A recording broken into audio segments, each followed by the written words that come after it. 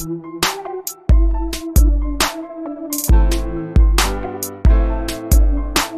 uh, a bunch of people on the live stream are pointing out that the crazy anti gunners are out there again. And they never let an opportunity to stand on the graves of the dead go to waste. And now we've got another terrorist attack on a military installation with a Saudi military uh, military person, and I don't know if they're an officer or not. I don't know the rank, but and they go ahead and they say, "Say it, it's it's um even with guns around, see guns don't do anything. The problem is it was a gun-free zone. It was a gun-free zone. Firearms are not allowed on that installation." And he brought a he brought a handgun on, and he killed people who were not armed because they were obeying the rules until people who were armed showed up and used violence to end him. That's what happened. That's the reality. Now, in the meantime, you've got Bloomberg out there. I don't know. See, the thing is, Bloomberg probably thinks that this is a great idea, but I don't know that there is a worse time for him to release an anti gun platform, even though we already knew that Bloomberg was anti gun because it's Bloomberg. Democratic presidential candidate Michael Bloomberg, who is sympathetic toward the Chinese Communist Party, according to Daily Wire, unveiled a massive anti freedom proposal on Thursday aimed at severely clamping down on Americans' constitutionally protected Second Amendment rights. By the way, the Chinese would like us to not have guns too. Speaking in Colorado, Bloomberg called for criminalizing transfers of firearms, increasing the age required to purchase firearms, a multi day waiting period when purchasing firearms, unconstitutional red flag laws, which, by the way, are continuing to cause problems, which allow the government to confiscate um, red flag laws, let you take your guns away without you actually having any due process. Okay. Then some some places it's easier for you to get them back than other places, but generally speaking, you just have to have somebody say, "I think they might be dangerous," and then they come take your firearms away. Bloomberg also essentially proposed a national firearm registry by calling for a gun licensing system and universal background checks.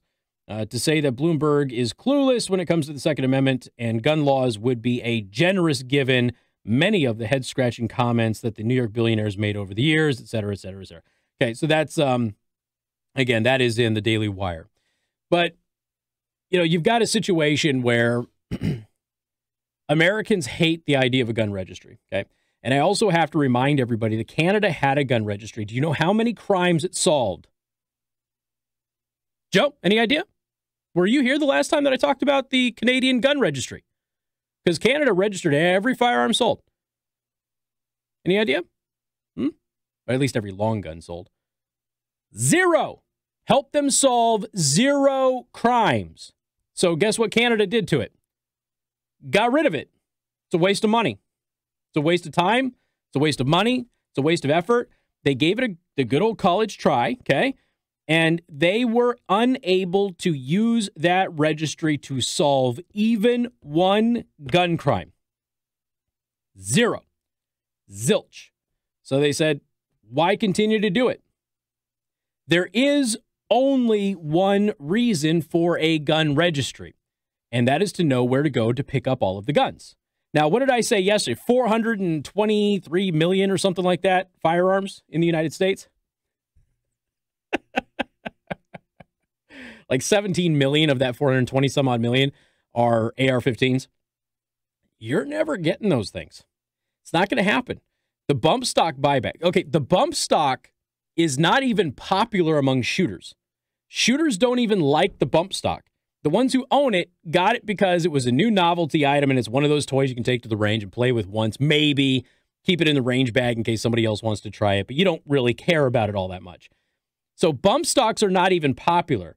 And what was there like 16 people who turned in bump stocks or something? I'm, I'm exaggerating a little. It was like 70 people out of the thousands of bump stocks that are out there in the market. So something that's not even popular, people aren't turning it in. Why? Is it because it's critical to their arsenal? No, it's not critical to their arsenal. Bump stocks are a silly little little um, toy, really, to take to the range. It is simply the principle of it. They don't want the government to have it. And let's be honest, the last time a government force told us to hand in our guns, we shot them in the face and we drove them back to the United Kingdom. That's what happened the last time somebody told Americans to give up their guns. So it ain't going to happen. But if Bloomberg who we all knew was on this, you know, it was going to come up sooner or later. It was going to have to happen. Um, but he did it on a day where we found out that somebody went into a gun free zone again and shot a bunch of innocent people who were not armed, even though a large chunk of them will be trained and have firearms, but they were not armed. Why? Because they obeyed the rules.